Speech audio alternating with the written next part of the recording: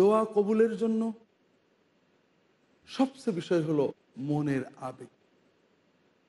ইন্নাল্লাহ দাওয়াতান দোয়া কোনো অমনোযোগী অন্তরের দোয়া আল্লাহ কবুল করেন না। মনোযোগের সাথে যেতে হবে, আন্তরিকতার সাথে অনুভব করে যেতে হবে। এবং ওদো আল্লাহ ও আন্ত মোকেনুন আবিল এই যাবা তোমরা আল্লাহর কাছে চাইবে, আল্লাহ যে দিবেনই এ ব্যাপারে নিশ্চিত থাকতে হবে। কখনোই মনে করা যাবে না, আল্লাহ হয়তো দেবেন না, আল্লাহ অবশ্যই দেবেন। আনা আইন দাদন্নে আবদিবি রসল্লাহ আসলাম বলছেন, আল্লাহ তালা বলেছেন, আমার বান্দা আমার ব্যাপারে যে ধারণা করবে, আমাকে সেভাবেই পাবে। কাজে আমরা যদি আগেই হতাশ হই, না, আল্লাহ হয়তো দোয়া কবুল করবেন না। তাহলে আল্লাহ রহমত থেকে হতাশ হওয়ার পাপে নিমজ্জিত হবে আল্লাহ দোয়া কবুল কেন করবেন?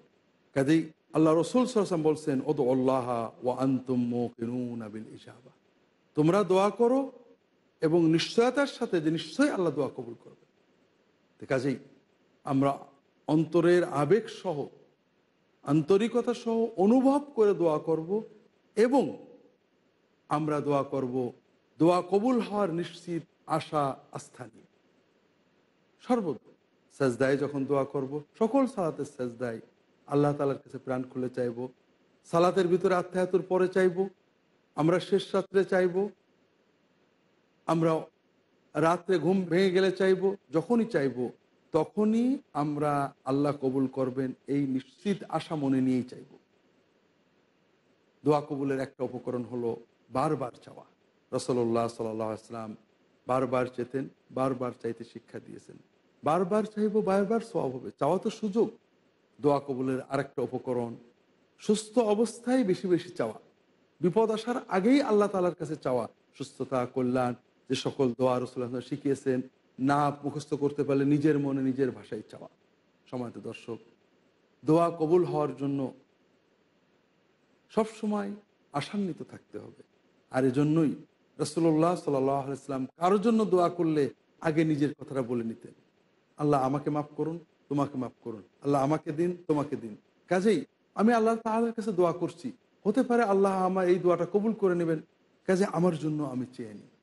আর এজন্যই তো আল্লাহ রসুল সাল্লাহ আলাইসাল্লাম তাস্কিয়া নফসের জন্য যে দোয়া করতেন, বিশেষ করে যে চারটি বিষয় চাইতেন, আমরা আগে আলোচনা করেছি। তিনি বলতেন আল্লাহ ইন্নি আউদুবিন আলমিল্লা অমিন কালবিল্লা একশা অমিন নফসিল্লা তসবাহ অমিন দাওয়াতিল্লা ইস্তেশাবুল্লাহ আল্লাহ, আমাকে তাস্কিয়া দান করুন। আমাকে তাকুয়া দান করুন আর যে এলেম কল্যাণে লাগে না, যে অন্তর ভীত হয় না, যে আত্মা তৃপ্ত হয় না, আর যে দোয়া কবুল হয় না, এগুলো থেকে আপনার কাছে আশ্রয় চাই। আমাদের সব দোয়া কবুল করবেন আল্লাহ, এটা আল্লাহর কাছে চাইতে হবে। এভাবে দর্শক, দোয়ার মাধ্যমে আমরা আল্লাহ তাল্লাহর সাথে সম্পর্ক গভীর করব, নিজের দোয়া নিজে চাইব, দোয়া কবুল হওয়ার উপকরণগুলো গ্রহণ করব, সময়গুলোর দিকে লক্ষ্য রাখব, আর পারি আর না পারি সদা সর্বদা। এর সে সহজ আর এর সে মজাদার তো আর কিছুই নেই। আমি আমার প্রিয়তম, আমার রব, আমার মালিক, তার সাথে কথা বলব। আমার কোনো আনুষ্ঠানিকতার প্রয়োজন নেই, দোয়ার অজুর প্রয়োজন নেই, গোসলের প্রয়োজন নেই। আমি যেভাবেই আছি, আল্লাহর সাথে কথা বলছি, আল্লাহ আমাকে এটা করো এটা করো, এটা দাও এটা দাও। আমরা দুনিয়ার, আমাদের ভালোবাসার প্রাপ্তের সাথে কথা বলে যে মজা পাই। আপনি একটু আল্লাহ তালার কাছে দোয়া করতে অভ্যস্ত হন। দেখবেন দুনিয়ার সব উৎকণ্ঠা মন থেকে চলে গেছে। প্রেমিকের সাথে প্রেমিক কথা বলে যে আনন্দ পায়, সব ভুলে যায়। এই রকম আনন্দ আমরা পেতে থাকব। আর পাশাপাশি এবাদতের সবাব জিকেরের সবাব অন্তরের তাস্কিয়া এবং আমাদের বিপদ থেকে মুক্তি, সকল চাওয়া মিলে যাওয়া আমাদের নসিব হয়ে যাবে ইনশা আল্লাহ তালা সমাজ দর্শক, দোয়ার জন্য রসল্লা সাল্লাম অনেক বাক্য শিখিয়েছেন। সুন্দর সুন্দর বাক্য। একটা বাক্যে সব চাওয়া হয়ে যায়। এই মাসনুন দোয়ার বাক্যগুলো যদি আমরা শিখতে পারি, খুবই ভালো। সময় সকালে, সন্ধ্যায়, রাত্রে শোয়ার সময় তাহাজ্যতে উঠে রসুল্লাহ সাল্লাম বিভিন্ন দোয়া করতেন। আমরা যদি এই বাক্যগুলো শিখে নিতে পারি, তাহলে খুবই ভালো। সবসময় আমাদের মনে রাখতে হবে, দোয়া ইস্তেকফার আল্লাহ তাল্লার সাথে কথা বলার ক্ষেত্রে মূলনীতি কয়েকটা। আমরা যখন আমাদের মনের আবেগে আল্লাহ তাল্লার কাছে চাইব আমার জন্য চাইব, ক্ষমা চাইব, দোয়া করব, আল্লাহর প্রশংসা করব, আল্লাহ রসুল সাল্লাহ সাল্লামের জন্য সালাদ চাইব, সালাম চাইব। যেভাবেই আমরা এটা চাই না কেন, আমরা আশা করি এর ভিতর দিয়ে মূল এবাদতটার সোয়াব পেতে পারব। তবে এটা রসুল্লাহ সাল্লামের শেখানো বাক্যে যদি হয়, তাহলে আমরা এখানে অতিরিক্ত রসুল্লাহ সাল্লামের সুন্নত পালনের সব পাচ্ছি এবং কবুলিয়াতের অনেক বেশি আশা করছি। কারণ আমরা তার হাবিব, তার খালিল, তার রসুল, তার আব্দ, তার বাক্যে তার কাছে আবদার করছি। আর যদি কখনো কোনো মানুষের মনে সুন্নত দোয়ার চেয়ে রসল্লাহ সাল্লামের শেখানো দোয়া, বাক্যর চেয়ে অন্য কোনো বাক্য বেশি প্রিয় হয় কোনো অজুহাতে, তাহলে এটা ভয়ঙ্কর, এটা সুন্নতকে ছোট করা, সুন্নতকে অবজ্ঞ করা। আর আল্লাহ রসুল বলেছেন, মান রাগে বা আনসুন্নতি ফালাইসামিন্নি যে ব্যক্তি আমার সুন্নতকে অবজ্ঞা করল, অবহেলা করল বা ছোট হেও মনে করল, সে আমার উন্মত না। কাজেই আমরা দোয়া করব, যে কোনো বাক্যে, ভাষায়, শব্দে আল্লাহর কাছে আমাদের মনের আবেগ জানাব। এক্ষেত্রে আরবি হওয়া জরুরি নয়, মাসনুন বাক্য হওয়া জরুরি নয়। তবে আমরা কোরআন এবং সন্না থেকে দোয়ার বাক্যগুলো শিখে, এই বাক্যগুলো দিয়ে যখন আল্লাহর কাছে দোয়া করব, তখন কবুলিয়াতের আর অনেক বেশি আশা করব দর্শক, জিকিরের আরেকটি দিক হলো ইস্তেকফার আল্লাহ তালার কাছে ক্ষমা চাওয়া। এটা একদিকে যেমন জিকির, আরেকদিকে চাওয়া। তবে সাধারণ চাওয়া নয়, বিশেষ চাওয়া আল্লাহ তালার কাছে ক্ষমা চাওয়া। দর্শক, আমরা ক্ষমার গুরুত্ব অনেকটা বুঝি না। আল্লাহ তালার রহমত, বরকতের উপরে আমাদের জীবন।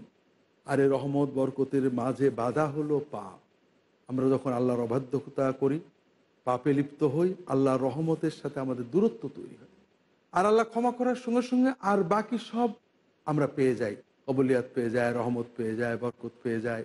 আর এজন্যই বান্দার দায়িত্ব হলো সব সময় বেশি বেশি করে আল্লাহ তালার কাছে ক্ষমা চাওয়া। আল্লাহ রসুল সাল্লাহ সাল্লাম বলছেন, হে মানুষেরা, তোমরা আল্লাহ তালার কাছে বেশি বেশি বেশি বেশি ক্ষমা চাও, তওবা করো গোনা ত্যাগ করে আল্লাহর প্রতি ফিরে আসার ঘোষণা দাও। আমি রসুল্লাহ সাল্লাম মাসুম আল্লাহ তালা তাকে ইসমত দিয়েছেন। তিনি বলছেন যে আমি প্রতিদিন সত্তর বারের বেশি কোন কোন বর্ণনায় একশো বার আমি আল্লাহ তালার কাছে ক্ষমা প্রার্থনা করি, তওবা করি। দর্শক, তাহলে ইস্তেকফারের গুরুত্ব আমাদের বুঝতে হবে। আল্লাহ তালার কাছে সব সুযোগেই ক্ষমা চাইতে হবে। সর্বদা ক্ষমা চাইতে হবে, চলতে ফিরতে ক্ষমা চাইতে হবে। পাপের কথা মনে করলে, না মনে করলে, বিশেষ করে পাপ করার সঙ্গে সঙ্গে ক্ষমা চাইতে হবে। পাপ করব না, এটা মানবীয় প্রকৃতির বাইরে। পাপ হবে, দেরি না করে তবা করব, এটাই হলো মানবীয় প্রকৃতি, মুত্তাকিদের পরিচয়। আল্লাহ তালা কোরআন কারিমের ব্যাপারে বলেছেন ওসারে ও ইলা মাগফিরাত রব্বিকুম ওয়াজান্নাতিন আরদু হাসসামাওয়াত ওয়াল আরদু আইদ্দাতিল মুত্তাকিন। তোমরা দ্রুত দৌড়াতে থাকো, ধাবিত হও, সেই জান্নাতের দিকে, যে জান্নাতকে আল্লাহ তালা বানিয়েছেন, মুত্তাকিদের জন্য মহাপ্রশস্ত আসমান জমিনের সমান প্রশস্ত। যে মুত্তাকিদের জন্য আল্লাহ জান্নাত বানিয়েছেন তারা কারা? আল্লাহ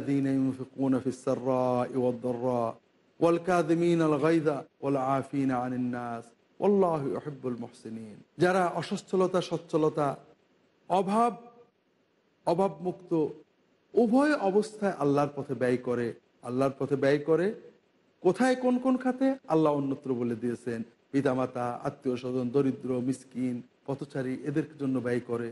ক্রোধ সম্বরণ করে, মানুষকে ক্ষমা করে।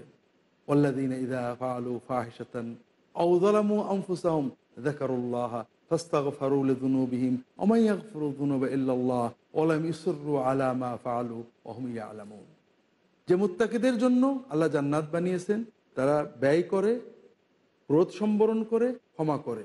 তাদের চতুর্থ গুণ হলো, তারা যখনই কোনো অন্যায় পাপ কাজ করে ফেলে অথবা নিজের উপর জুলুম করে অর্থাৎ কোনো পাপে লিপ্ত হয়ে যায়, আল্লাহর কথা মনে করে।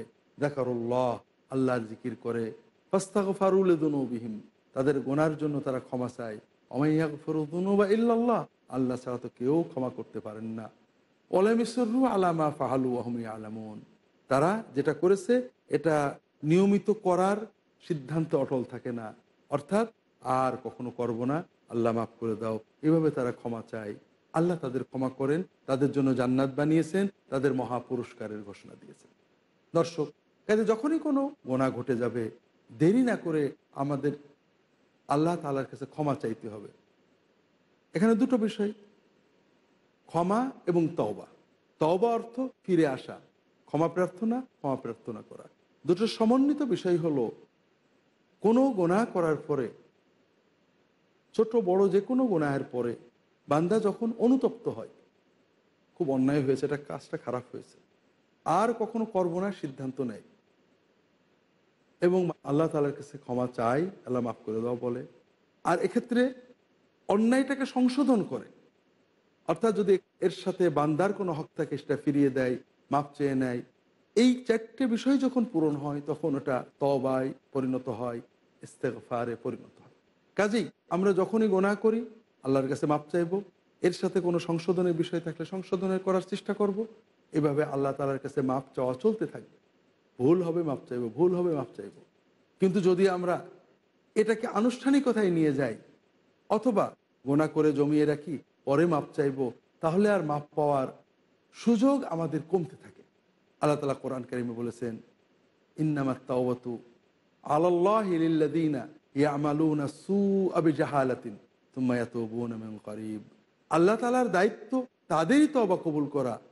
যারা আবেগে, অস্থিরতায়, অজ্ঞান বা অসুস্থতার কারণে, জাহালতের কারণে, জাহালত আরবিতে দুই দিকে ব্যবহার করা হয়, দুই প্রকার অর্থে ব্যবহার করা হয়। একটা হলো অশোভন, অশালীন আচরণ করা, অথবা আবেগময়, ক্রোধময়, অস্থিরতাময় আচরণ করা। আর একটা হলো অজ্ঞানতা আল্লাহ তালা বলছেন অজ্ঞানতায় অস্থিরতায় প্ররোচিত হয়ে কেউ পাপ করে ফেলে তাড়াতাড়ি যথাশীঘ্র ক্ষমা চায় তাদের পাপ ক্ষমা করা তাদের তওবা কবুল করা আল্লাহর জিম্মাদারিতে ওলাই সাথে তওবাতু লিল্লাদিন ইয়ামালুন السيئات حتى إذا حضر أحدهم الموت قال إني تبت الآن ولا الذين يموتون وهم كفار আর যারা পাপ করেই চলেছে, পাপ করেই চলেছে, পাপ করেই চলেছে তবা করছে না যে একেবারে মরার আগে তবা করব। মরার সময় তবা করে, তাদের তবা কবুল আল্লাহর জিম্মাদারি নয় কাজেই তবা আমরা সব সময় করব ইস্তেকবার সব সময় করব এর মাধ্যমে আমাদের অন্তর থেকে ময়লাটা দূরীভূত হয়ে যাবে, অন্তর পরিশুদ্ধ হবে, আল্লাহর ক্ষমা মাকফেরাত রহমত সব আমাদের অন্তরে এসে যাবে দর্শক ইস্তেকফারের জন্য রসল্লাহ সাল্লাম উন্মুক্ত আদেশ দিয়েছেন এবং কিছু কিছু সময় তিনি বেশি ইস্তেকফার করতেন। আমরা বিরতির পরে এসে সে সময়গুলোর কথা এবং ইস্তেকফারের বাক্যগুলোর কথা আলোচনা করব। ততক্ষণ আমাদের সাথেই থাকুন। আসসালামু আলাইকুম ও রাহমান বিরতির পর আমরা আলোচনা করছিলাম সুন্নাতের আলোকে আত্মশুদ্ধির ক্ষেত্রে ইস্তেকফারের গুরুত্ব। আমাদের আত্মা তো ময়লা হয়, গুনাহের কারণেই। আর এ থেকে শুদ্ধ হতে হয় ইস্তেকফারের মাধ্যমে। সর্বদা ইস্তেকফার করতে হবে। আর বিশেষ করে যে সময়গুলোতে আল্লাহ দোয়া কবুল করবেন বলে আশা করা যায়, ওই সময়ে সবচেয়ে আগে ক্ষমাটা চেয়ে নিতে হবে। আর এজন্যই রসল্লাহ সাল্লাম সেজদাই সালাতের সালাম ফেরানোর আগে, সালাতের সালাম ফেরানোর সঙ্গে সঙ্গে যখনই দোয়া কবুলের সময় সবচেয়ে আগে ক্ষমা চাইতেন, ক্ষমা চাওয়া শিখিয়েছেন।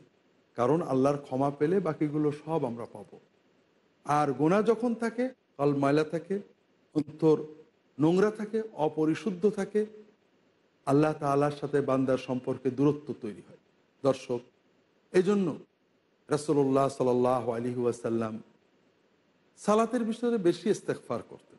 সালাত শুরু করে আমরা সানা পড়ি যখন, ওই সানার পাশাপাশি সানা পড়তেন, কখনো কখনো ইস্তেকফার পড়তেন আল্লাহ বাঈদ বাইনি ও বাইনা খাতা কামা বা আত্মা বাইনাল মাসিক মাগরব। আল্লাহ আমার আর আমার পাপগুলোর ভিতরে দূরত্ব করে দেন, যেমন পূব বা পশ্চিমের দূরত্ব। এভাবে সালাতের শুরুতে ইস্তেকফার করতেন সেজদাই ইস্তেকফার করতেন। শিখিয়েছেন উম্মতের জন্য সেজদাই সব চাইবে বিশেষ করে ইস্তেকফার সেজদাই সুবহান রব্বি আলা আলা তিনবার বলার পর রসল্লাহ সাল্লামের সুন্নাত বিভিন্ন দোয়া, অন্যতম ইস্তেকফার দোয়া কবুলের আরেকটা সময় সালাতের আত্মাহিয়াত পড়ে রসল্লাহ সাল্লাহ সাল্লাম পরে সালাত পড়ার পরে সালাম বলার আগে যে সময়টা, এটা দোয়া কবুলের সময়। আর এই সময়ও রসল্লাহ সাল্লাম ক্ষমা চাইতে শিখিয়েছেন। আবু ওকারদ আল্লাহ তালু বলছেন, ইয়া রসল্লাহ আমি সালাতের শেষে সালামের আগে কি দোয়া করব? রসল্লাহ সাল্লাম শিখিয়ে দিলেন আল্লাহ ইন্নি গলম তো নফসি দুলমান কাসিরান ওলা একরুদুনুবা ইল্লা আন্তা। ফখফিরলি মখফিরাতমিন আইন্দিক রহমান ইন্নাকা ও সময় আল্লাহর কাছে মাপছে আল্লাহ আমি অনেক জুলুম করেছি গুণা করেছি, বড় গুণা করেছি, অনেক গুণা করেছি, আল্লাহ আপনি মাফ করে দেন, পরিপূর্ণভাবে ক্ষমা করে দেন।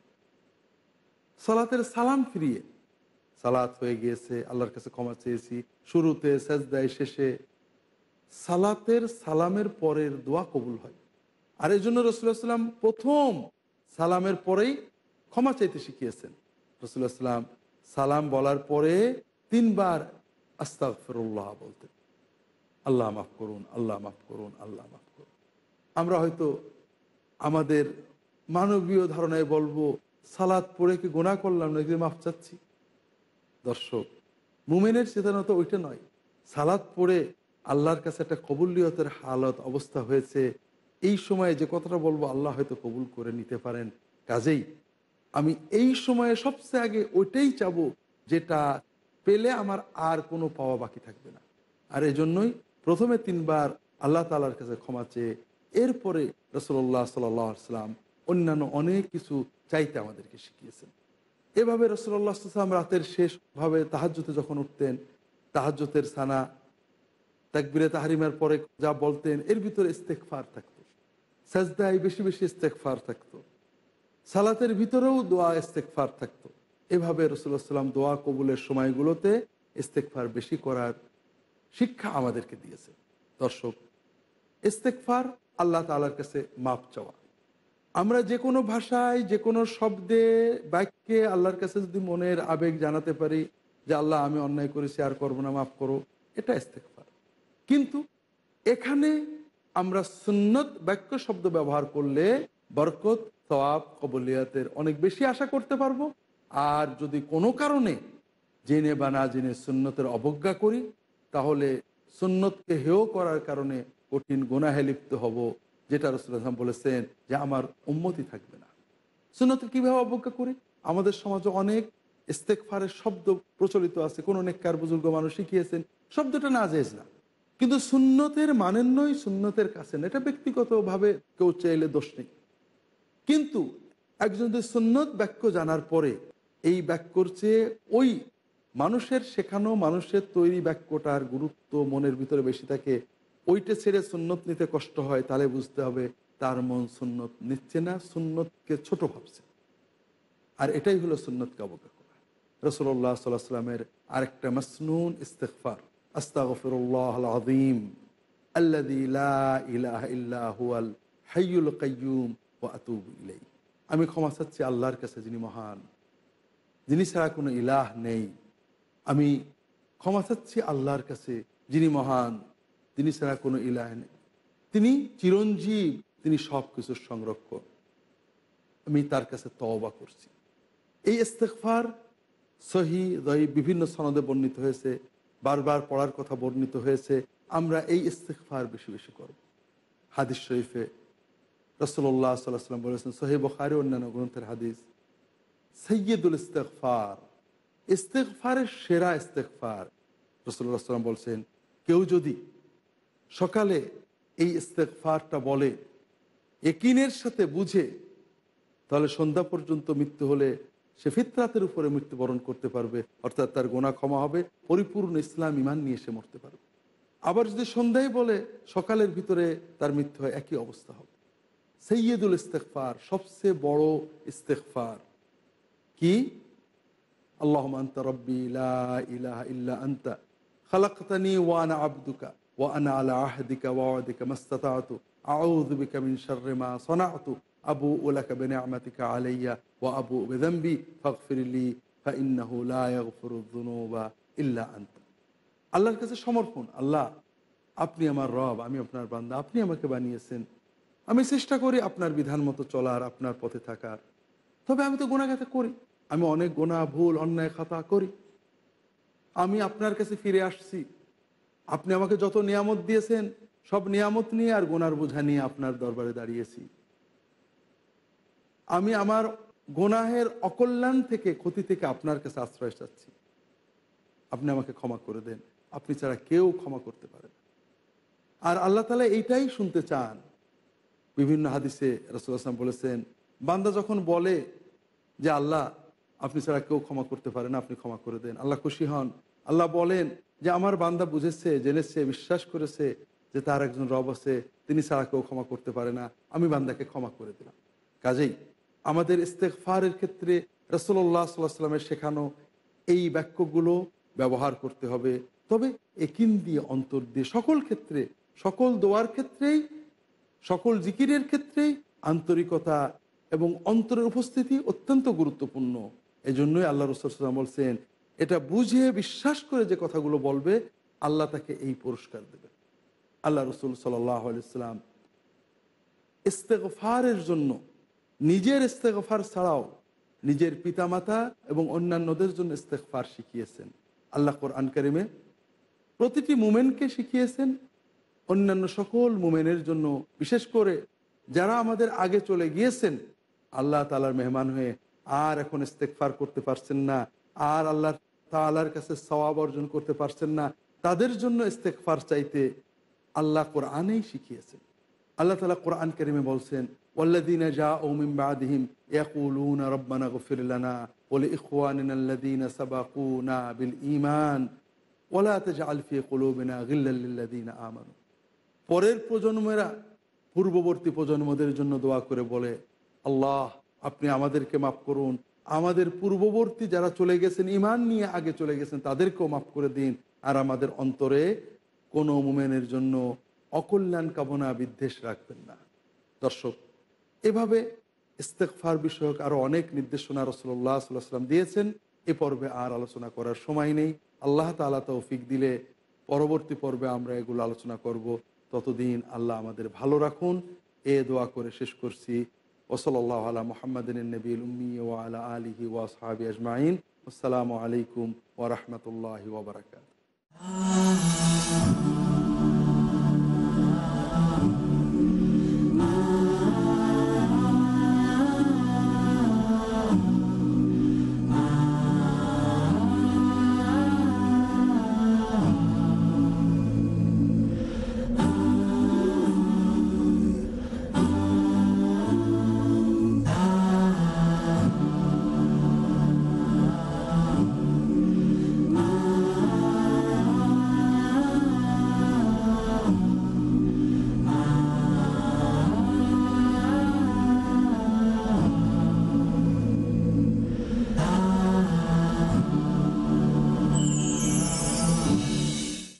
আসসালামু আলাইকুম।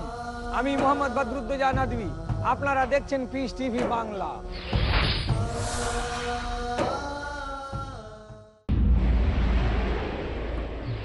ডক্টর জাকিরের আন্তরিক বার্তা। মহান আল্লাহর সর্বশেষ টেস্টামেন্ট। এটি মানবজাতির প্রতি আহ্বান দয়া এবং জ্ঞানের ঝর্ণাধারা বিপদগামীদের পথপ্রদর্শক অসচেতনের প্রতি সতর্ক, যারা সন্দিহান, তাদের জন্য নিশ্চয়তা, দুঃখীদের জন্য সমাধান, যারা হতাশ, তাদের জন্য আশা। আল কোরআন, এই পৃথিবীর বুকে সবচেয়ে পজিটিভ বই।